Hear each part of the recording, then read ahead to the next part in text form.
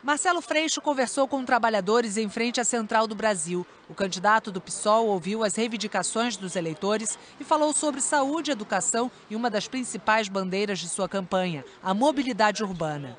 Marcelo Freixo prometeu trabalhar por uma integração maior entre os meios de transporte do Rio de Janeiro. E ele disse que, se for eleito, vai criar um fundo para conseguir reduzir o valor das tarifas.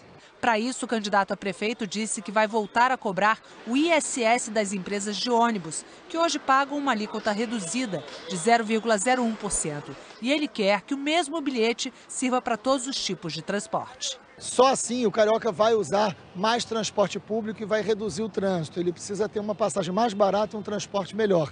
Esse fundo de transporte público vai ser feito com dinheiro da multa e com dinheiro dos impostos dos empresários de ônibus que hoje não pagam impostos no Rio de Janeiro. Isso, sem dúvida alguma, vai fazer com que o transporte possa estar integrado na sua tarifa.